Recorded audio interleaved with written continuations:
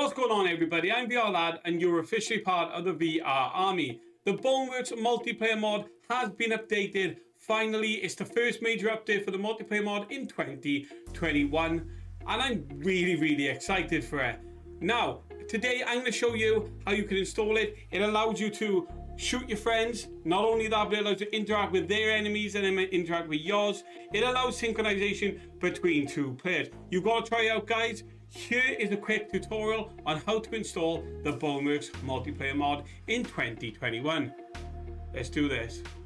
So first guys, what we're going to want to do is go down in the description and go to the link. It will take you to github.com. This is for Melonloader which you need in order to use the mods. You want to go to melonloader.installer.exe and then click on that. If this pops up, just click install anyway.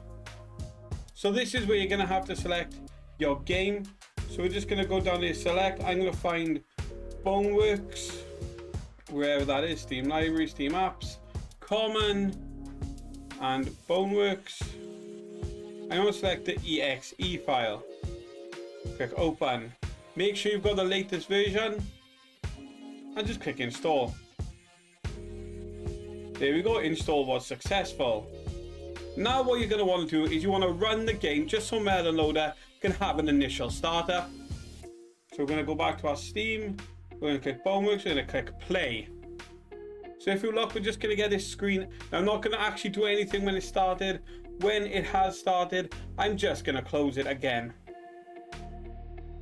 There we go, and the game will start. Now I'm just going to quickly close it down because I don't need to do anything with it yet as I want to install the multiplayer mod. So once again, go down in the description and click on the boneworks.thunderstore.io package. So we're going to manually install that. Go to your downloads, click open, press copy, go to your Boneworks folder, Steam Apps Common, Boneworks, Boneworks, and then paste into the place where your .exe file is. Go down in the description again and go to boneworks.thunderstore.io package mp mod team slash boneworks mp. Click manual download. Wait for that to complete. Right, now that's completed. Open that up copy all of it once again. Control C.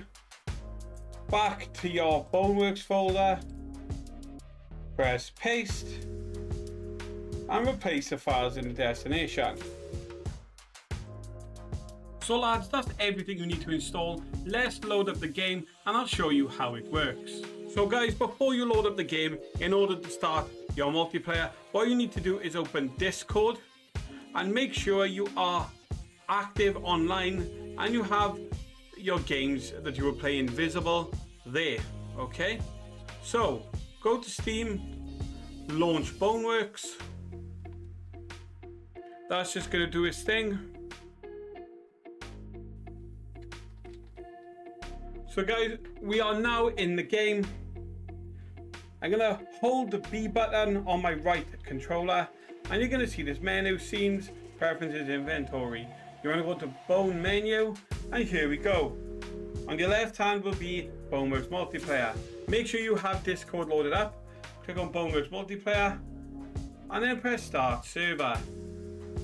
If you go off the Bone menu again and it back up, you'll see that you have a server up and running. Now, go off there a second, go back to your Discord. You should see this down the bottom and you can send out invites, so that could be to people in a group, people in a server, a group of friends, whatever. Send out that info. And then up to 11 extra can click on this join button and assuming they have the multiplayer installed, they can join you as well.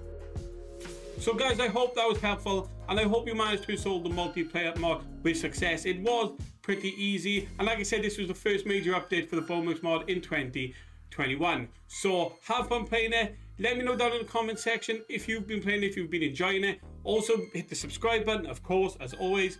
And make sure you join the VR army because I want you. I'm VR Lad. Thanks for watching. I'll see you soon. Peace.